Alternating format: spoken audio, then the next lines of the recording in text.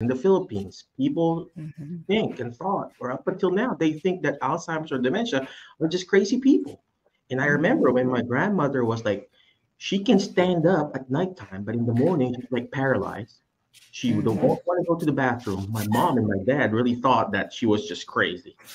But now that I'm educated and aware about it, I'm like, oh gosh, yeah, she had Alzheimer's, she had dementia. And uh, every culture is different. Middle Eastern culture will be different. Uh, uh, Southeast Asian people will be different. Mm-hmm. I mean, of course, American American culture will be different. So go to an appropriate one that will help you and teach you and guide you. That way, uh, you're not just like, okay, I'm not going to do this. I'm not going to tell anyone about my situation. And I'm like, okay.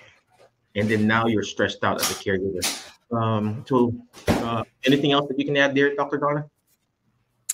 Yeah, you know, I think that there is a lot of um, stigma culturally, and that's actually across many different kinds of cultures.